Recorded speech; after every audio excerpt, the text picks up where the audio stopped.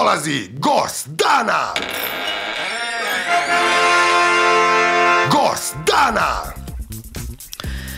Evo nam i današnjeg gosta dana, pa krenimo sa današnjom temom.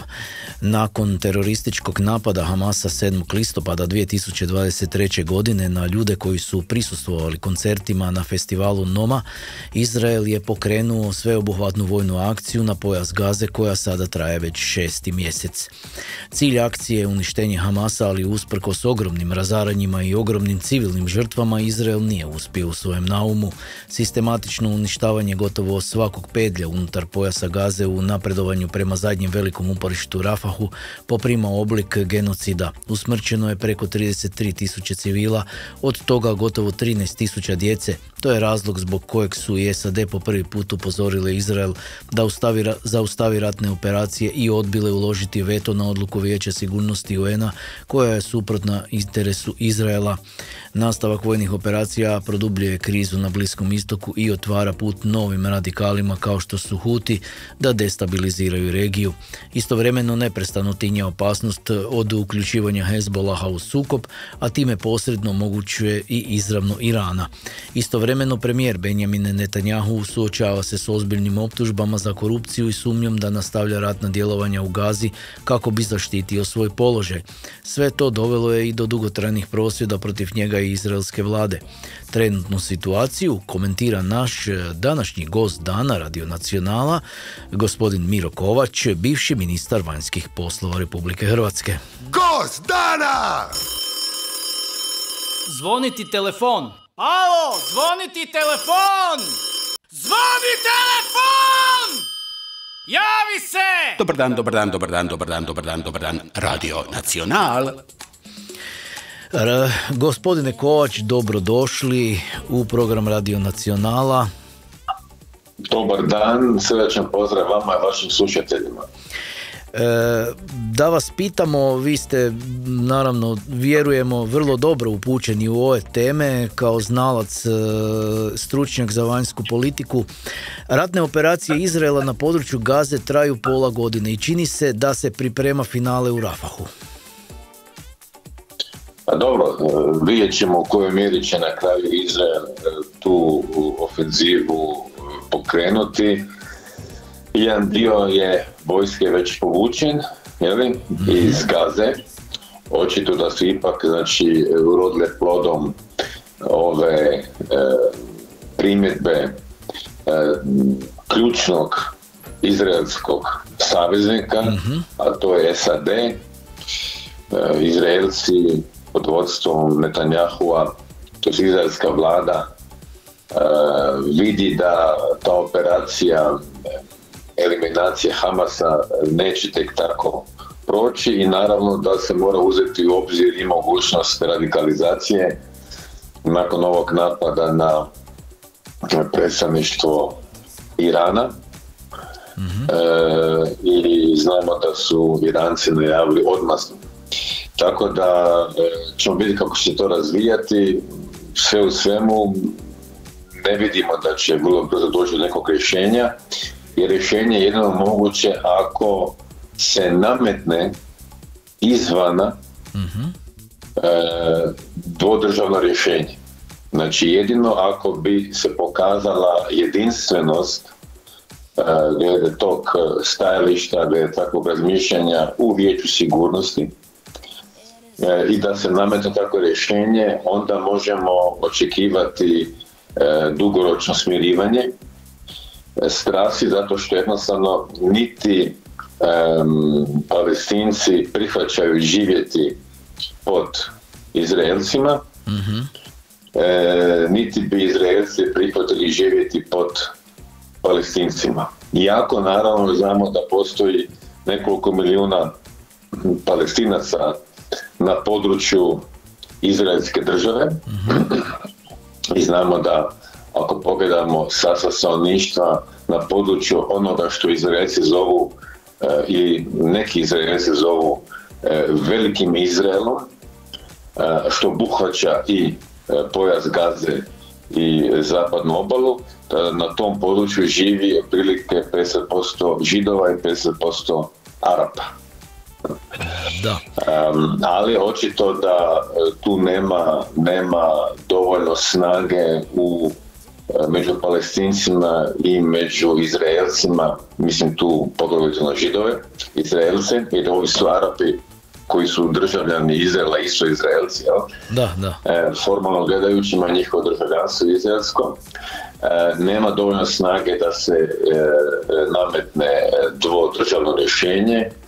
E, mnogi Izraelci su sad već od toga odustali, smatraju da se to više ne može provesti. Bio sam prije nekog mjeseci na konferenciji međunarodnoj u Maroku, gdje su mi neki rekli ovaj, da ne vide više tu mogućnost održavog rješenja. Imao sam priliku s kolegom Davorom Šternom prije nekoliko mjeseci u jednom hrvatskom dnevniku objaviti jedan autorski tekst koji je izašao na naslovnici u kojem smo se obojice založili za dvodržavno rješenje koje jest jedino kako tako pravedno. Da. I ona se može same nametnuti, ponavljam svoju izvornu tezu, samo se može nametnuti od Ujedinjenih naroda, od Vijeća sigurnosti, da se onda provede, budući da Amerikanci to trenutno ne podržavaju, uložili bi veto, ne vidim da se to može provesti. Da.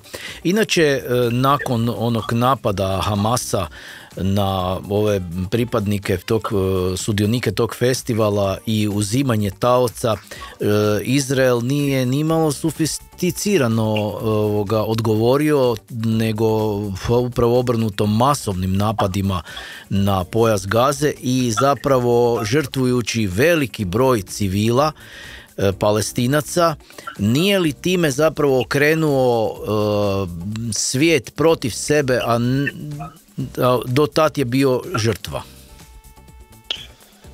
Ako jedna država uh, koja nije velesila, a to je Izrael, ima, kad govorim o vladajućoj eliti i onima koji su u tom upravljačkom sloju, ima iskustva real politikom, uh, zna koliko vrijedi pravilo uh, jačega, onda je to Izrael. Izrael je vrlo, s- vrlo svjestan toga, mislim tu na izraelsku vladajuću elitu ili na one koji upravljaju, bili oni iz desna ili s lijeva, da se u međunarodnim odnosima jedino sami sebi možete pomoći. Vidimo to na primjeru Ukrajinaca. Ukrajinci imaju podršku Zapada i nas ovdje u Hrvatskoj, poglavito SAD-a, ali i temeljnih država Europske unije, Njemačke, Francuske, drugih saveznika unutar Atlantske zajednice, Velike Britanije, Kanade. Ali na kraju krajeva, ako si ne može sami pomoći, tad će taj entuzijazam e, da nekom pomažete splasnuti. E, da se mi nismo u Hrvatskoj sami na kraju obranili, oslobodili, ili ne daj Bože, razmišljati o takvom scenariju. E, tako je sada u, u Izraelu. Znači, Izraelci samo vjeruju sebi, samo vjeruju u svoju snagu. Imamo tu, nažalost, to je tako, to sam rekao uvodno, nepomirljivost dvaju stavova. Znači, Izraelci vrlo jasno kažu, Hamas nas želi uništiti. Ako pogledate njihov statut, statut Hamasa, u njemu iz njega vrlo jasno proizlazi da oni smatraju, citiram, recimo na članak 15. da je e, cionistički projekt predstavlja veliku opasnost za sigurnost i e, međunarodni mir i za stabilnost e, cijelog čovječanstva. Izrael kao takav država je proizvod cionističke misli. To znači da se Hamas protivi postojanju izraelske države.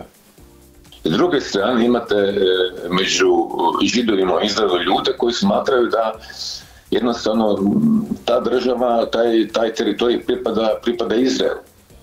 Znači imamo nepomirljivost dvaju stavova, e, dvaju e, uvjerenja i jednostavno ne vidi mogućnost da se dođe do dugoročno državog rješenja, donekle pravednog rješenja, osim dvodržavnog rješenja, a ono se ne može nametnuti ako nemamo takozvani konsenzus ili ako uzmemo hrvatsku riječ suglasje u vrhu takozvane međunarodne zajednice, a tu mislim na Ujedinjene narode. Da. Gospodine, samo jedan da. primjer kad je to funkcioniralo, naravno uz suglasnost e, i, i strana e, u sukobu, to je, i to smo spomenuli gospodin Štern i ja, e, to je recimo primjer Istočne Slavonije, Hrvatskog Podunavlja. Mi smo tada prihvatili da Ujedinjeni narodi privremeno preuzmu vlast u Istočnoj Slavoniji, konkretno u Hrvatskom Podunavlju. I nakon toga smo mi opet postupno suverenitet i na kraju preuzeli kompletno suverenitet. Mislim na, na, na, na Hrvatsku. Kad ste Znači, spomenuli, kad ste spomenuli ovoga Podunavlje, e, e, da li je možda ovo situacija recimo da na neki način za usporediti znate koliko je zapravo te boli u e, stanovništvu izazvano e, gubitkom e, svojih najmilijih e, pogibijom ljudi e, u ovom slučaju 33 tisuće poginulih palestinskih civila, da li to smatram stvara možda dugoročno veliki i nepremostivu prepreku u, u, od- u odnosima i zapravo još dodatnu radikalizaciju palestinaca? Naravno da stvara e, takav osjećaj i da će generacije e, e, onih koji dolaze iza nas na tom području bliskog e, istoka, e, da će se time hraniti. je li, e, tim osjećajima, gubicima života, vojne operacije, da će se sanjati o odmazdi. E, to, to možemo nažalost očekivati i to je, ako hoćete, na neki način i prirodno. Uzmemo samo slučaj e, Sjeverne Irske. Jel? E, I dan danas imate nemire, dan danas imate osjećaje mržnje, netrpeljivosti, ali imate naravno i osjećaje e, koji su se promijenili na bolje. Želim time reći da nećemo, nećemo doživjeti e, kakav takav mir na Bliskom istoku između palestinaca i izraelaca, između palestinaca i židova, ako ne dođemo do dvodržavnog rješenja. I o tome na kraju kraja govori gospodin Biden sada, o tome govori njegov državni tajnik, to je jedino pravedno rješenje. U međuvremenu, kažem, su se e, Izraelci koji su prihvatili 1947. godine, sjećamo se toga jako dobro, prihvatili su izvorno dvodržavno rješenje, tada arapska strana ga nije prihvatila, bilo je nekoliko pokušaja da se do njega dođe, u međuvremenu su se i jedni i drugi pod navodnicima ohladili od takvog rješenja, ali e, e, mi ga nećemo moći postići pregovorima između dviju strana. Nažalost, ja to ne vidim. Ja vidim samo mogu, imate naravno pacifici s jedne s druge strane, ono su manjeni. E, I vidim samo tu šansu ako se rješenje nametne. A ono se ne može nametnuti bez konkretno SAD-a, a u SAD-u je sam gospodin Biden u teškoj poziciji jer se bori za reizbor. S jedne strane ima naravno jaku židovsku zajednicu u SAD-u koja očekuje da nastavi podržavati Izrael koji je bio napadnut od Hamasa. S druge strane imate naravno i stanovnike e, države SAD-a koji su e, muslimanskog podrijetla ili koji su Da, muslimani, koji osjećaju solidarnost s palestincima i koji očekuju da gospodin Biden ima razumijevanja za ono što radi izraelska vojska protiv civilnog stanovništva u pojasu Gazi. Tako je da gospodin Biden tu rastrgan i ne smije se dopustiti e, ni biti previše sklon ni jednoj ni drugoj skupini. Jako naravno imate, imate i među židovima u SAD-u imate oni koji ne odobravaju takvo postupanje e, izraelske vojske protiv civila u pojasu Gaze. Ali kažem, e, ako slušate jednog Ehoda Baraka koji je bio lijevi predsjednik vlade, tako, ako je on rekao kad je krenuo Hamas, nakon napada Hamasa, ako je on rekao imat ćemo nekoliko mjeseci da obavimo taj posao. Znači tu u biti vi nemate između ljevice i desnice Razlike, da. e, unutar e, vladajuće elite u Izraelu neke velike razlike, zašto se radi? O pitanju preživljavanja o pitanju opstojnosti, kad je pitanje opstojnosti isto kao što je kod nas u Hrvatskom domovinskom ratu, ona nije važna ko je HDZ-ovac, ko je SDP-ovac, nego da smo svi skupa na braniku domovine. Tako, doživlj, tako to doživljavaju Izraelci, ali naravno tako doživljavaju i Palestinci. Da, kako, kako ovoga tumačite relativnu pasivnost Hezbolaha? Da li se tu između Hamasa i Hezbolaha ipak ima, ima više razlika nego mi mislimo? Nama se čini da je to zapravo sve ista jedna muslimanska zajednica, ali očito da je Hezbolah e, prilično suzdržan u ovim, u ovim e, operacijama. Hezbolah je pomagač Irana i Hezbolah neće ništa e, kardinalno učiniti bez dogovora s Iranom. Znači, Hezbollah postoji tamo, jeli, na jugu Libanona, kako bi bio pomagač Irana, ili kako smo to rekli modernim e, e, hrvatsko-engleskim rječnikom, oni su proksi. Oni su čisti proksi Irana i one će po uputama Teherana udarati ili se sudržavati. Da. Da, e, sad situacija je u ovom trenutačnom e, slučaju Benjamin Netanjahu suočen s prosvjedima u vlastitoj državi ne, i optužbama za korupciju. Njegovi protivnici pak e, pozivaju, prozivaju ga da nastavlja rat kako bi zaštitio sebe, ali da li je to, da li je to stvarno tako ili, ili kao što ste rekli, bez obzira na to koja bi bila opcija, situacija sa odmazdom bila bi ista? Netanjahu je e, situacija koja je specifična jer e, ako ili bolje rečeno nadajmo se kad prestanu, kad prestanu ratne operacije Izraela u pojasu Gaze, mhm. kada prestane intenzivna e, sukobljavanje izraelske vojske sa pripadnicima Hamasa, u tom trenutku se mijenja klima u Izraelu i on je u vrlo teškoj poziciji. Znači, Netanjahu se ne bori samo za opstojnost i sigurnost izraelske države, on se bori usporedno s time i za svoje političko preživljavanje. Da. I naravno sada je produžio svoje političko preživljavanje, produžio ga je e, zbog ovog sukoba s Hamasom. Tako da u ovom trenutku sve dok traje rat će, kako sad stvari stoje, Netanjahu biti na vlasti. E, sad jedna stvar nama vjerojatno ko malo razmišlja o tome nije jasna. Naime, čelnici e, Hamasa e, koliko smo imali priliku čuti su u, u, stacionirani u Katru. Da. da li je to, mislim, taj Katar ima odnose sa Sjedinjenim američkim državama, mislim zbog čega se tu ili je tu stvarno ono, ona situacija da, da novci su iznad svega ne? Pa se to ne dira jer to po takvom e, su oni vrlo izloženi međunarodnom pritisku odnosno međunarodnim e, sankcijama ili ukoliko su oni naredili onaj masakr ovoga mogli su biti pod udarom pravosuđa međunarodnog. Nije sve tako jednostavno e, u životu, to ne vrijedi samo za međunarodne odnose, to vrijedi i za naše privatne živote, tako, dakle ako hoćete i za naš hrvatski politički život, ima toliko tih kombinacija, tih veza koje, e, koje prelaze političke tabore, tako kao što jako dobro znamo, i u obiteljima na kraju krajeva. Sjetimo se samo povijesnih udžbenika i priče drugog svjetskog rata, što je tu sve bilo po obiteljima. Jedan je sin bio u jednoj vojsi, drugi u drugoj vojsi, to su komplicirane stvari. Tako se to sad odnosi i na situaciju na Bliskom istoku. Naravno da je e, da je e, SAD na strani Izraela.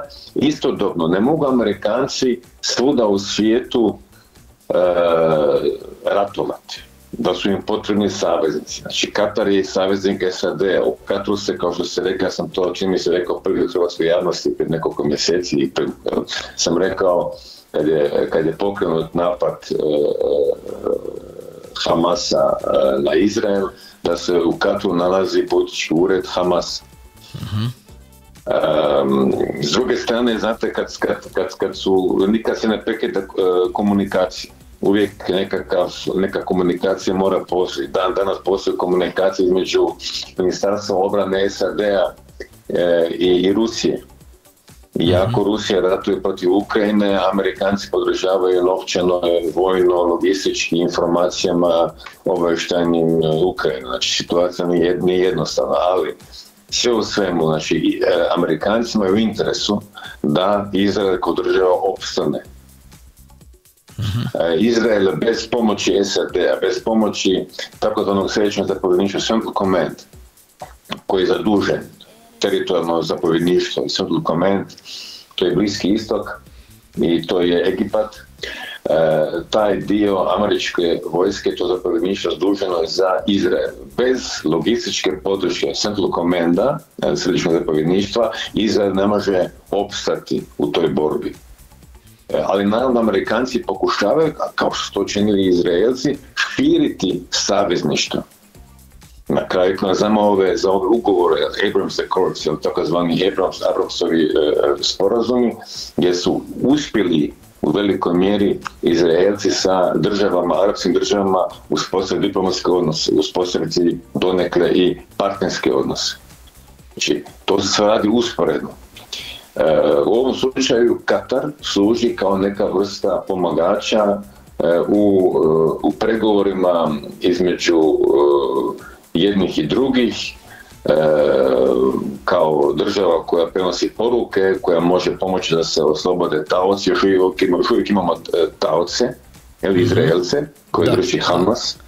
Tako da e, jednostavno postoji Katar i ne može sad SAD protiv svih onih kojim se ne sviđa voditi rat. Tako da situacija je zamršena, ona je komplicirana i ponavljam, moramo, mora doći do zrelosti jednoga dana u međunarodnoj zajednici i treba doći do, do državnog rješenja. I to se može samo posjeći ako međunarodna zajednica, tu mislim na Ujedinjene narode, na vijeće sigurnosti, ako se ono nametne i ako se onda ono provede zahvaljujući vojnoj snazi e, država vijeća sigurnosti, naravno na način da se ukući što više država E, iz susjedstva Izraela i palestinske samouprave. Da, u, u, tim okolnostima i u, ovoga, na tom području zapravo kad usporedimo naša, naši problemi izgledaju kao zabava. Evo, nažalost, e, gospodine Kovač, ja vam se lijepo zahvaljujem na razgovoru. Vjerujem da smo mnogim slušateljima možda pojasnili neke stvari koje to zanima, naravno i da ćemo imati priliku i buduće porazgovarati kada budu aktuelne teme iz međunarodnih odnosa. Nadam se da smo svojim razmišljanjima e, malo pomogli, ali smo zajedno konstatirali da mi ne držimo ključ za rješenje tog zamršenog problema, to su, to, je, to su povijesni problemi, to su stvari koje se tiču povijesti i palestinaca, Arapa, povijesti židova, svjetske povijesti na kraju krajeva. Mhm. E, taj bliski istok, on je izvorište triju monoteističkih e, religija. Znači židovstva, kršćanstva i islama. Da. I to čini cijelu stvar još zamršenije. Da.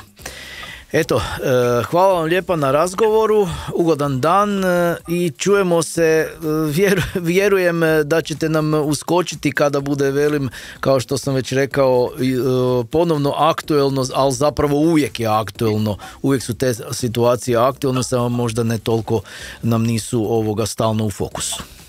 Srdačan pozdrav vama i vašim slušateljima, slušateljicama i ugodan dan, živjeli. Također lijepi pozdrav. Ajde, sad je stvarno dosta. Ej, ej, mach, mach. Adio, arrivederci, auf Wiedersehen, ciao, kisi, kisi, doviđenja.